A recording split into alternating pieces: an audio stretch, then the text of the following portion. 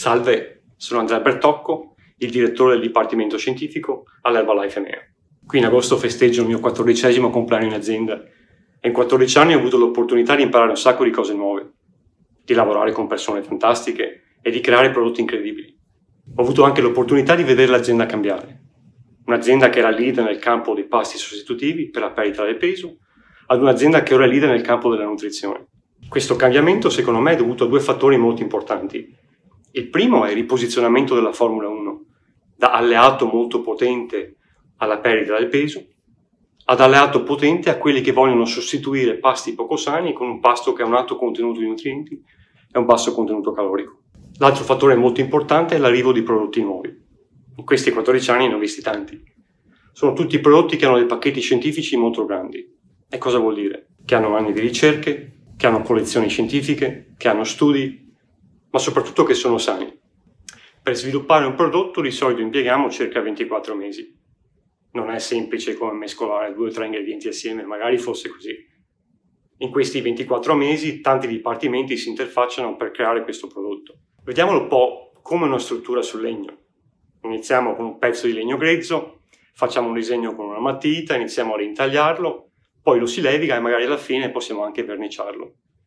Creare un prodotto funziona bene o male così. Partiamo con un'idea grezza, questa idea viene dal marketing, che ha studiato i trend, le esigenze dei consumatori e la passa direttamente al Dipartimento dell'Innovazione. Innovazione che si occupa di trovare gli ultimi ingredienti emergenti. Di solito vengono da noi con 5 o 6 idee. A questo punto l'idea si suddivide in due fasi parallele. Una fase con la qualità, approvvigionamento e regolatorio e l'altra è quella scientifica.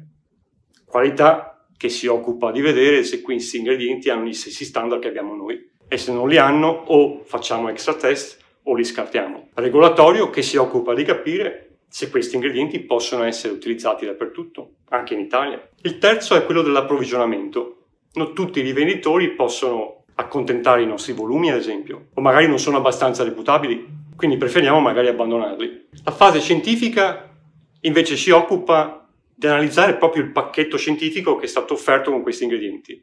Spesso questi produttori emergenti creano studi clinici, creano evidenza scientifica, ma noi vogliamo revisionarla. Vogliamo capire A se l'ingrediente è sicuro e B se l'ingrediente veramente ha queste caratteristiche benefiche. Se non le ha, facciamo due cose. Andiamo noi nei vari database, cerchiamo gli ultimi 40 anni di pubblicazioni scientifiche per vedere se possiamo creare un pacchetto molto più forte. Se questo non è possibile, creiamo una partnership col produttore e facciamo test addizionali, oppure testiamo noi stessi. Spesso a questo punto, da sette ingredienti che avevamo all'inizio, ci troviamo con pochi, magari per mancanza di pacchetti scientifici o anche per punti di domanda che si sono affiancati alla sicurezza dell'ingrediente stesso.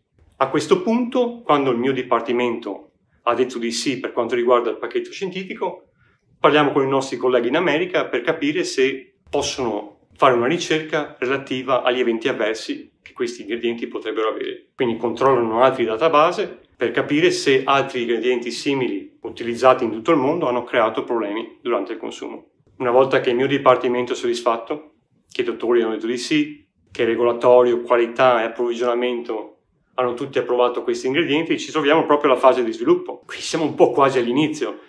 Dobbiamo capire se questo prodotto sarà un frullato, se sarà una barretta, se sarà una compressa, Dobbiamo capire se è buono o se non lo è, dobbiamo capire se è stabile. La stabilità è molto importante. Ad esempio, se ci sono vitamine e minerali, noi dobbiamo assicurarci che queste vitamine e minerali siano alla fine presenti nella scadenza del prodotto, che i livelli siano gli stessi. Abbiamo visto quanto è complesso creare un prodotto e quanto importanti siano tutti questi fattori che contribuiscono a crearlo. Una conferma viene anche dalla revisione scientifica fatta dagli esperti dell'Università Foro Italico di Roma, dall'Università di Parma e dalla Federazione Italiana Medicina dello Sport. Questa revisione scientifica parla dell'importanza dell'epico, che è il lievito di birra creato in un modo molto particolare, e anche dell'importanza di integrare vitamine come la vitamina D, la vitamina C, o minerali come lo zinco e il selenio, tutti importanti per mantenere un buon sistema immunitario. Spero che questa mini review vi sia piaciuta, ci vediamo al prossimo lancio. Grazie.